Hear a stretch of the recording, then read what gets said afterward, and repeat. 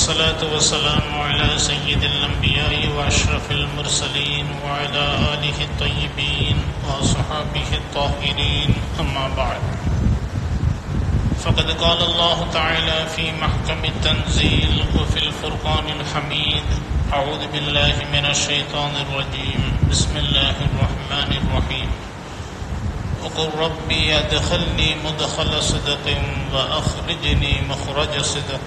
واجعل لي من لدنك سلطانا نصيرا. وقال تعالى أيضا يقولون لئن رجعنا إلى المدينة. قال النبي صلى الله عليه وسلم إن الإيمان يخرج من المدينة كما تخرج الحية إلى حجرها.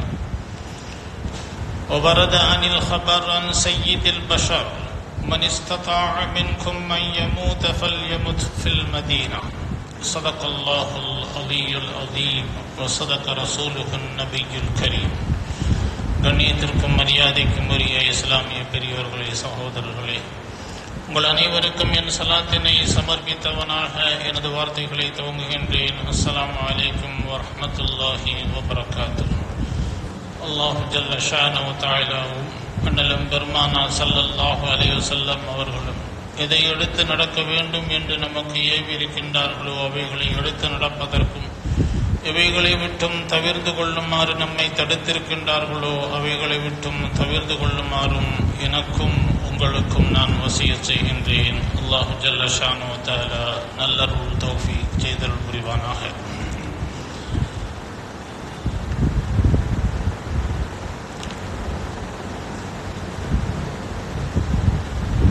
சர்வ திசைகளிலிருந்தும் தல்மியாவை முழங்கியவர்களாக ஹரமை நோக்கி ஹாஜிகள் இறங்கியிருக்கின்றார்கள் இன்னும் இறங்கிக் கொண்டிருக்கின்றார்கள். தல்பியா ஒரு சரணாகதியினுடைய வார்த்தை அர்ப்பணிப்பினுடைய வார்த்தை. கடந்த வாரம் நாம் மாண்புயர் மக்காவினுடைய சிறப்புகளையும் அதனுடைய அமல்களையும் பற்றியும் நாம் விவரித்திருந்தோம். ஹஜ் அது ஒரு அமல் மாத்திரம் அல்ல அது ஒரு பரவச பயணம். அமல் என்பதை விட அடிபணிதல் என்பதுதான் அதற்கு பொருத்தமான வார்த்தை. ஏனெனில் புனித ஹரமில் ஒருவன் ஒரு ரகாத்து தொழுதால் ஒரு லட்சம் நன்மை கிடைக்கும். ஆனால் ஹஜ்ஜனுடைய முக்கியமான அமல்கள் மினாவிலும் அரஃபாவிலும் முஸ்தலிஃபாவிலும் இருக்கின்றன. அவை ஹரம் அல்ல. இங்கு என்ன தொழுதால் என்ன நன்மை கிடைக்குமோ அந்த நன்மை தான் மினாவிலும் அரஃபாவிலும் முஸ்தலிஃபாவிலும். அப்பொழுது அங்கு அறிவுக்கும் ஆராய்ச்சிக்கும் உள்ளதல்ல. நான் எந்த இடத்தில் தங்க வேண்டும் என்று சொல்கின்றேனோ அந்த இடத்தில் தங்கு. அறிவை கொண்டு சிந்திப்பதல்ல.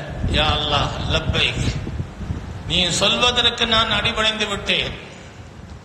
அமலை விட அடிபணிதல் என்பதுதான் இத்தாமத். செய்தான் அறிவை கொண்டு யோசித்துத்தான் அவன் சபிக்கப்பட்டவனாக ஆனான் என்பதை பார்க்கின்றோம். எனவே அறிவுக்கும் ஆராய்ச்சிக்கும் அப்பாற்பட்ட ஒரு அமல்தான் ஹஜ்ஜனுடைய அமலாக இருக்கின்றன. மினா தாயின் கர்ப்பப்பை போல குழந்தை வளர வளர எப்படி கற்பப்பை விரிவடைந்து கொடுக்கின்றதோ அதுபோன்று லட்சோப லட்சோப லட்சோப மக்கள் கூடினாலும் கூட மீனா விரிந்து கொண்டே இருக்கும். அங்கு அரசர்களும் கோடீஸ்வரர்களும் அடிமைகளும் சாதாரண தொழிலாளிகளும் கூட சமநிலையாக ஒரு திறந்த வெளி கபரை போல அது மகஷரை வெளிப்படுத்தக்கூடிய ஒரு உன்னதமான மினாவின் கூடாரம். இப்படி ஹஜ்ஜனுடைய அமல்களை பற்றி நாம் சொல்லிக்கொண்டே போகலாம். இன்னும் பாக்கியாக இருக்கக்கூடிய அதிசயங்களில் முஸ்தலிஃபாவில் கல் பொறுக்குவது. ஆண்டாண்டு காலம் பல கோடி மக்கள் கல் பொறுக்கும் பொறுக்கும் கல் வந்து கொண்டே இருக்கின்றது என்பதே முழஜிசத்துன் பாக்கியத்துன் தொடரக்கூடிய ஒரு அதிசய நிகழ்வாக அதை இமாம்கள் பதிவு செய்வார்கள் என்பதை பார்க்கின்றோம். இப்படி ஹஜ்ஜனுடைய ஒவ்வொரு அமல்களும் அல்லாவிற்கு அடிபணிதலையும் அவனிடத்தில் சரணத சரணாகதி அடைவதையும் மகஷனுடைய நினைவை நினைவுபடுத்துவதும் மாக இருக்கக்கூடிய ஒரு அமலை பற்றி நாம் கடந்த வாரம் பகிர்ந்தோம். நாம் இப்பொழுது மதீனா மா மதீனாவினுடைய சிறப்புகளையும் அதனுடைய மாண்புகளையும் அதனுடைய அகமியங்களையும் பற்றி நாம் சிறிது தெரிந்து கொள்வோம். மதீனா. அதற்கு முந்தைய பெயர் எஸ்ரிப் ஆனால் இப்பொழுது அந்த பழைய பெயரை வைத்து யாராவது அழைத்தால் அவர்கள் பிழை பொறுக்க தேடிக் கொள்ளட்டும் என்று பெருமானா சல்லல்லாஹ் அலைஹி செல்லம் அவர்கள் கூறினார்கள்.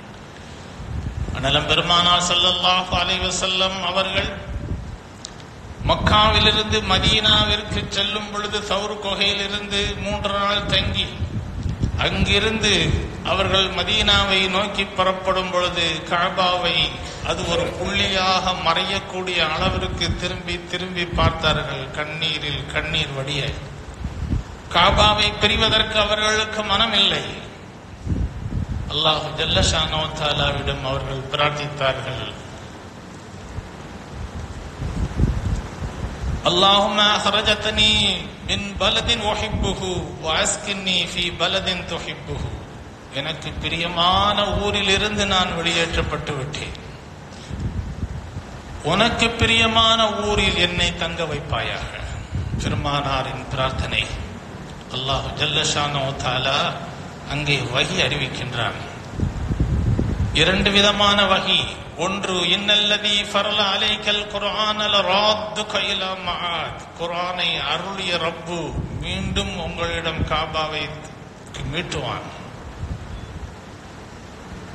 இன்னொரு வசனம் ரப்பி அதுகல்னி முதகல சிதக்கின் அஹ்ரிஜினி முஹ்ரஜ சிதக்கின் வஜ அல்லி மில்லதுன்க சுல்தானன் நசீரா. நபியே நீங்கள் இப்படி பிரார்த்தியுங்கள். உண்மையின் உறைவிடத்தில் என்னை நுழையச் செய்வாயாக. அல்லாஹு ஜல்லஷானோ தாலா மதீனாவிற்கு பெயர் சூட்டுகின்றான். ரப்பி அதுகல் நீ முதுகல சிதுக்கின் உண்மையின் உறைவிடத்தில் என்னை நுழையச் செய்வாயாக. சத்தியத்தின் தலைவாசலில் என்னை நுழையச் செய்வாயாக. ஆக அண்ணலம் பெருமானா சல்லல்லாஹு அலைஹி வஸல்லம் அவர்கள் மதீனாவிற்கு ஹிஜரத் செய்ய வேண்டும் என்பது பெருமானாரின் தேர்வு அல்ல. பல்லாயிரம் ஆண்டுகளுக்கு முன்பு யமனுடைய அரசர் துப்பா மன்னர் ஒகௌம துப்பா என்று குரானில் வரும். அவர் தன்னுடைய நானூறு அறிஞர்களுடன் மார்க்க மேதைகளுடன் அவர் பல நாடுகள் வலம் வருகின்றார். காபாவிற்கும் வருகிறார். காபாவிற்கு முதன் முதலாக பொன்னாடை போர்த்திய மன்னர் அவர்தான். அதற்கு முன்பு ஆடை அதற்கு போர்த்தப்படவில்லை. முதல் முதலாக பொன்னாடை போர்த்தியது துப்பா மன்னர் தான் அதீசிலே நாம் பார்க்கின்றோம் மாஷரிலே யாரு எந்த நாட்டுக்காரர்கள் அதிகமாக ஹஜ்ஜி செய்தார்கள் என்ற கணக்கெடுப்பில் ஹதீசினுடைய அடிப்படையில் யமன் வாசிகள் தான் அதிகமாக ஹஜ் செய்வார்கள். அந்த மன்னரினுடைய நற்செயலின் காரணமாக அல்லாஹ் அந்த மக்களுக்கு அந்த ஒரு வாய்ப்பை எல்லாம் கொடுத்திருக்கின்றார் அதே மன்னர் மதீனாவிற்கு செல்கின்றார். நானூறு வேத விற்பன்னர்களும் இறுதி நபி ஹிஜரத் செய்யக்கூடிய வந்து வாழக்கூடிய அடங்கப்பெறக்கூடிய துயில் கொள்ளக்கூடிய இடம் இந்த மண் தான் என்று அவருடைய வேதத்தில் விளக்கப்பட்டிருக்கின்றது. மன்னருடன் பயணத்தை தொடராமல் நாங்கள் இங்கேயே தங்கிக் கொள்கின்றோம். இது இறுதி நைவி வரக்கூடிய இடமாக இருக்கின்றது. மன்னர் அவருடைய சொல்லை ஆமோதித்தவர்களாக. அவரை கொண்டு நானும் ஈமான் கொள்கின்றேன். உங்களுக்கும் வீடு கட்டித் தருகின்றேன். அந்த இறுதி நபிக்காக நான் ஒரு வீட்டை எழுதி பட்டயம் தந்து அது தலையடி வாழையடி வாழையாக தலைமுறை தலைமுறையாக அந்த நபிக்கு இந்த வீடு போய் சேர வேண்டும் என்று ஒரு வீட்டை அமர்த்தி கொடுக்கின்றார். அண்ணலம் பெருமானா சல்லல்லாஹு அலே செல்லம் அவர்கள் மதீனாவிற்கு நுழைந்த பொழுது அன்சாரிகள் ஒட்டகத்தை பிடித்து கொண்டு எங்கள் வீட்டு தங்குங்கள் என்று ஒவ்வொருவர்களும் ஒட்டகத்தை இழுத்த பொழுது பெருமானா சல்லல்லாஹு அலே செல்லம் அவர்கள் தஹூஹா இந்த ஒட்டகத்தை விட்டு விடுங்கள். ஃபைன்னஹா மூரத்தன் அது ஏவப்பட்டிருக்கிறது. ஒட்டகம் முதலில் இப்பொழுது பழைய மஸ்ஜிது நபி இருக்கக்கூடிய இடத்தில் ஒரு சுற்று சுற்றி விட்டு சிறிது தூரத்தில் போய் அமர்ந்தது. அதுதான் அபு ஐயூபுல் அன்சாரி ரலியல்லாஹு தாலானுடைய வீடு.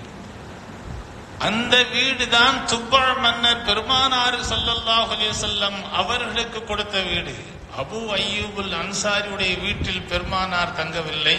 பெருமானாருடைய வீட்டில் தான் அபு ஐயூபுல் அன்சாரியும் அவருடைய முந்தைய தலைமுறையும் இதுவரைக்கும் தங்கியிருந்தது என்பது சரித்திர தரவுகள் ஹதீஸான கிரந்தங்களில் பதிவு செய்யப்பட்ட ஒன்று.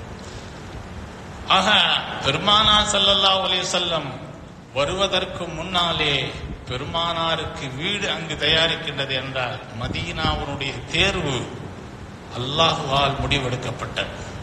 மக்கா சிறந்ததா மதீனா சிறந்ததா என்றால் மஸ்ஜிது நபவி சிறந்ததா மஸ்ஜிதுல் ஹராம் சிறந்ததா என்றால் மஸ்ஜிதுல் ஹராம் தான். ம- மக்கா தான் சிறந்தது. அதில் எந்த சந்தேகமும் இல்லை. ஆனால் பெருமானார் ஸல்லல்லாஹு ஒலே செல்லம் அவர்கள் புனித உடலை தாங்கி இருக்கக்கூடிய அந்த ரவுலா இந்த பூமி பந்தியிலே சிறந்தது என்று எல்லா இமாம்களும் யோகோபித்த முறையில் கருத்து தெரிவித்ததை நாம் பார்க்கின்றோம். அனலம் பெருமானார் சல்லல்லாஹு அலி வஸல்லம் அவர்கள் மக்கா வெற்றியின் போது பிலால் ரலியல்லாஹு அவர்களை காபாவின் உச்சியில் ஏறி அதான் உரைக்க சொன்னார்கள். கீழே நின்றால் காபாவை பார்த்து பாங்கு சொல்லலாம். மேலே எங்கு பார்த்து பாங்கு சொல்வது? எனவே பிலால் அலி அல்லாஹு தாலானு அவர்கள் பெருமானாரிடம் கேட்டார்கள் யார சொல்லல்லா நான் எந்த திசையை நோக்கி பாங்கு சொல்ல வேண்டும்? பெருமானார் கூறினார்கள் என்னை நோக்கி நீங்கள் வாங்க சொல்லுங்கள். காபாவிற்கே கிபிலா அண்ணலம் பெருமானார் சல்லல்லாஹ் அலி செல்லம் அவர்கள் அவர்கள்தான். பெருமானார் சல்லல்லாஹ் அலைஹி செல்லம் அவர்கள் மதீனாவிற்கு நுழைந்ததை அனேஸ் அல்லாஹு தாலா அன்ஹு அவர்கள் சொன்னார்கள். பெருமானார் மதீனாவிற்கு நுழையும் பொழுது மதீனாவின் எல்லா பொருள்களும் இலங்கியது. அதுக்கு தான் மதீனா முனவ்வரா. ஒளிரப்பட்ட நகரம். பட்டணம் என்றாலே மதீனா தான்.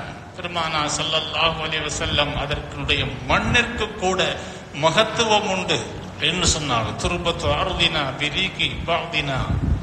என்று பெருமானா சல்லல்லாஹு அலைஹி செல்லம் அவர்கள் ஒருவருடைய காயத்திற்கு தன் உமிழ்நீரை தொட்டும் மதீனா மண்ணை தொட்டும் வைத்து ஷிஃபாவை கூட்ட ஹதீஸ்களை முஸ்லிம் ஷரீஃபிலே காண முடிகிறது.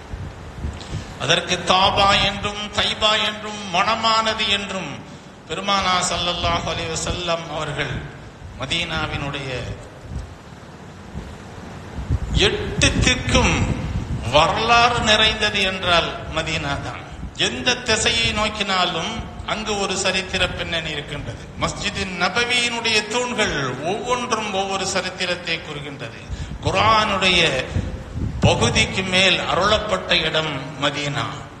தொழுகையை தவிர்த்து மற்ற அனைத்து சரியத்து சட்டங்களும் மதீனாவில் தான் கடமையாக்கப்பட்டன. அது நோம்பாக இருந்தாலும் ஹஜ்ஜாக இருந்தாலும் சக்காத்தாக இருந்தாலும் அனைத்தும் தொழுகை மாத்திரம்தான் மக்காவில் இருக்கும்போது மேராஜுக்கு போயிட்டு வந்து அவருக்கு கடமையாக்கப்பட்டது.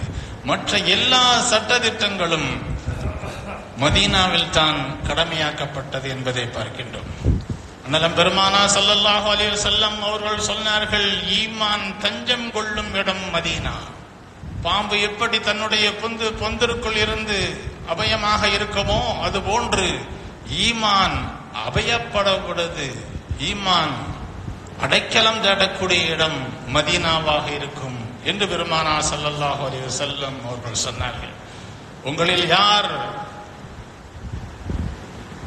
மதீனாவிலே மௌத்தாகுவதற்கு மரணம் அடைவதற்கு விரும்புவார்களோ விரும்பிக் கொள்ளட்டும். ஏனென்றால் அங்கு மரணம் அடைந்து ஜன்னத்தில் பக்கையிலே அடங்கப்படக்கூடியவர்களுக்கு நான் அவருடைய ஈமானுக்கு நான் சான்று பகருவேன். அவர்களுக்கு நான் ஷஃபாத்து செய்வேன் என்று பெருமானா சல்லல்லாஹ் அலி செல்லம் அவர்கள் கூறிய ஹதீசுகளை பார்க்கின்றோம். மாநபி ஸல்லல்லாஹு அலைஹி செல்லம் அவர்கள் என்னுடைய மெம்பருக்கும் மெஹ- என்னுடைய ரவுலாவிற்கும் அடக்கஸ்தலத்திற்கும் மெம்பருக்கும் மத்தியில் உள்ள இடம் கிதஅத்தும் மினல் ஜன்னா சோர்ணத்தினுடைய ஒரு பகுதியாக இருக்கும். மக்காவிலே ஹஜருல் அஸ்வது கல் மாத்திரம் சுவனத்திலிருந்து கொண்டு வரப்பட்டது. ஆனால் மதீனாவிலே சொர்க்கத்தின் ஒரு பகுதியே இருக்கின்றது தனியாக அடையாளம் பட்டிருக்கும். இந்த அந்த இடத்தில் தொழக்கூடிய நசீபை தந்த இறைவன் இறைவன் நரகத்தில் நாளை தள்ள மாட்டான் என்று இமாம்கள் அதற்கு விளக்கம் எழுதுவார்கள். எனவே உலகத்திலேயே சொர்க்கத்தில் தொழக்கூடிய ஒரு வாய்ப்பை தரக்கூடிய ரப்பு நாளை அந்த மனிதனை நரகத்தில் தள்ள மாட்டான். எனவே மதீனாவிலே பெருமானா சல்லல்லாஹ் அலி செல்லம் அவர்கள் நின்று ஓதிய அந்த மெம்பரில் தான் நாளை ஹவுதுல் கௌதரிலே நான் அதில் அமர்ந்து கொண்டு மக்களுக்கு நான் தண்ணீர் புகட்டுவேன் என்றார். எனவே மெம்பரும் சொர்க்கத்திற்குரியதாக இருக்கின்றது.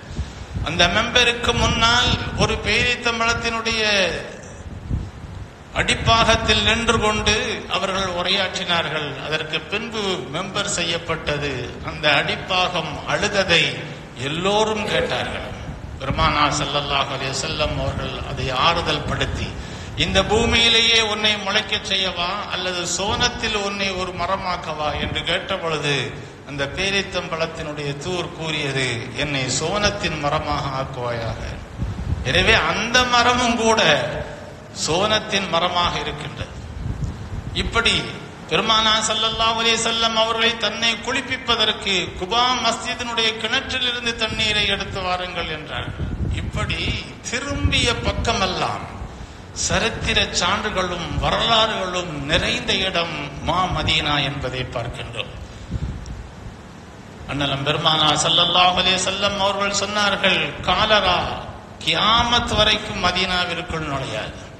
தஜ்ஜால் இறுதி நாளில் உலகத்தை எல்லாம் தான் தான் கடவுள் என்று வழிகெடுத்து வரக்கூடிய அந்த தஜ்ஜால் மக்காவிற்குள்ளும் மதீனாவிற்குள்ளும் அவன் நுழைய மாட்டான். மதீனாவிலே மதீனாவின் எந்த வீதியும் ஆயுதம் ஏந்திய மலக்குகள் நின்றே தவிர என்று பெருமானா சல்லாஹ் அலைஹி செல்லம் அவருடைய ஹதீஸை பார்க்கின்றோம். மாநபி சல்லாஹ் அலைஹி வஸல்லம் அவர்கள் அல்லாஹிடத்திலே கேட்டார்கள் உன்னுடைய ஹலீல் இப்ராஹிம் அலைஹிஸ்ஸலாம் அவர்கள். மக்காவின் பரக்கத்திற்காகவும் கனிகளுக்காகவும் ஹலீலுல்லா துவா செய்தது போன்று நான் மதீனாவிற்கு துவா செய்கின்றேன். அதுபோன்று இரண்டு மடங்கு நீ மதீனாவிற்கு முத்திலும் சாயிலும் அளவிலும் கனிவர்க்கங்களிலும் நீ பறக்கச் செய்வாயாக என்று பெருமானா ஸல்லல்லாஹு செல்லம் கேட்டதோடு அவர்கள் எப்படி அதை ஹரமாக ஆக்கினார்களோ அதுபோன்று நான் மதீனாவை ஹரமாக ஆக்கின்றேன். மக்காவிலே யார் தீங்கு செய்ய நாடுகின்றார்களோ அநீதம் செய்ய நாடுகின்றார்களோ அவர்களுக்கு இந்த உலகத்திலேயே தண்டனை உண்டு என்று நாம் கடந்த வாரம் படித்தோம். இல்ஹாதிம் அதுபோன்று மதீனா வாசிகளுக்கு தீங்கு செய்தால் கூட அல்லாஹினுடைய சாபமும் மலக்குடைய சாபமும் உண்டாகும் என்று பெருமானா சல்லாஹ் அலி சொல்லம் அவர்கள் அதனால ஹாஜிகள் யாரும் மதீனாவுடைய வியாபாரிகளிடம் பேரம் பேச மாட்டார்கள். சொன்ன விலைக்கு வாங்கிடுவாங்க அவர்களுடைய ஏனென்றால் ஈமானுடைய அடையாளம் அன்சாரிகளை நேசிப்பது. அந்த அன்சாரிகளுடைய வாரிசுகளாகத்தான் அங்கு மதீனாவில் உள்ளவர்கள் இருக்கின்றார்கள். அண்ணன் பெருமானா ஸல்லல்லாஹு அலைஹி வஸல்லம் இந்த உலகமே ஒரு பாதையில் சென்று அன்சாரிகள் ஒரு பாதையில் சென்றால் நான் அன்சாரிகள் போகக்கூடிய பாதையில் செல்வேன். என்று பெருமானா ஸல்லல்லாஹு அலி வசல்லம் அவர்கள் கூறியதை பார்க்கின்றோம். எனவே கபராளிக்கு சொல்லக்கூடிய சலாத்தை நாம் அங்கு சொல்லவில்லை. அஸ்லாம் அலைக்கும் யாதார கௌமி மூமினின் என்று நமக்கு சொல்லித் தரப்படவில்லை. ஹயாத்துன் நபி வாழக்கூடிய நபி நம்முடைய கண்ணை விட்டும் மறைந்திருக்கின்றார்கள். ஹயாத்துன் நபி அஸ்ஸலாத்து வஸ்ஸலாம் அலைக்க யா ரசூலல்லாஹ். அஷ்ஹது அன்னக நீங்கள் அல்லாஹ்வின் ரசூல் என்று சாட்சி சொல்கின்றேன் என்று நேரடியாக சொல்லக்கூடிய பாக்கியத்தையும் அங்குதான் பெற முடியும். பெருமானார் ஸல்லல்லாஹு அலி வசல்லம் அவர்கள் நூருத்தீன் ஜங்கி அவருடைய கனவிலே தோன்றி இரண்டு பேர்கள் எனக்கு இடைஞ்சல் செய்கின்றார்கள் என்று கனவிலே கொள்கின்றார் அவர் ஒரு சாலையான மனிதர். எனவே அவர் ஒல் செய்துவிட்டு மீண்டும் படுக்கின்றார். மீண்டும் அந்த ரெண்டு பேருடைய உருவம் காட்டப்படுகின்றது. எனவே மதீனாவுடைய கவர்னரை அணுகி இந்த மாதிரியான கனவை விளக்கி மதீனாவாசிகளுக்கு பூரா அன்பளிப்பு தருவதாக அரசர் அழைக்கின்றார் என்ற அழைப்பின் பேரில் அழைத்த பொழுது அந்த ரெண்டு பேர் மட்டும் வரவில்லை. கடைசியில் தெரிந்தது அவருடைய இடத்திற்கே சென்று பார்க்கின்றார்கள். இரண்டு பேர்களும் கிறிஸ்தவர்கள். பெருமானாரின் பொன்னுடலை சுரங்கம் தோண்டி அந்த உடலை எடுத்து சின்னாபின்னப்படுத்த வேண்டும் என்பது அவர்களுக்கு இடப்பட்ட கட்டளை. சுரங்கம் பெரும்பாலும் முடிந்து விட்டது. இன்னும் கொஞ்சம் தான் பாக்கி இருக்கு. இந்த ரெண்டு பேர் பெருமானார் சல்லல்லாஹ் அலைஹி ஹயாத்து நபிக்கு ஆயிரம் அத்தாட்சிகள் இருக்கின்றன. அதுல ஒரு அத்தாட்சியை சுருக்கமான நேரத்தில் நாம் இதை மாத்திரம் சொல்கின்றேன். அந்த ரெண்டு பேரும் காட்டப்பட்டவர்களை அவ்வாறே பெருமானார் காட்டினார். இந்த ரெண்டு பேரும் எனக்கு டிஸ்டர்ப் பண்றாங்க இப்பொழுதும் மதீனாவுடைய ரவுதாவுக்கு சுற்றியும் அந்த நூருத்தின் ஜங்கி அரசர் அவர்கள் தான் ஈயத்தால் ஒரு பாதுகாப்பு வளையத்தை ஏற்படுத்தினார்கள் என்பதை பார்க்கின்றோம். இப்படி பெருமானா ஸல்லல்லாஹு அலைஹி அவர்கள் இன்னும் ஹஜ்ஜு என்பது கடமை. மாணவி சல்லல்லாஹு அலைஹி செல்லம் அவர்களுடைய அவர்களை அங்கு சென்று ஜியாரத் செய்வது நம் மீது தார்மீக கடமையாக இருக்கிறது. இன்னும் அதனுடைய சிறப்புகளையும் ஹஜ்ஜினுடைய அமல்களை பற்றியும் நாம் விரிவாக நாம் பேசுவோம். அல்லா தௌஃபிக் செய்வானாக. அல்லாஹ் நம் அனைவர்களுக்கும் நல்ல நசீபை தந்தருள் புரிவானாக. இந்த ஆண்டு ஹஜ் செய்யக்கூடியவருடைய ஹஜ்ஜினுடைய பயணத்தையும் அவருடைய ஹஜ்ஜையும் ஹஜ்ஜ மபுரூராக ஆக்கி வைப்பானாக. ஆஹிர் தஅவானா நான் ஹம்துலில்லாஹி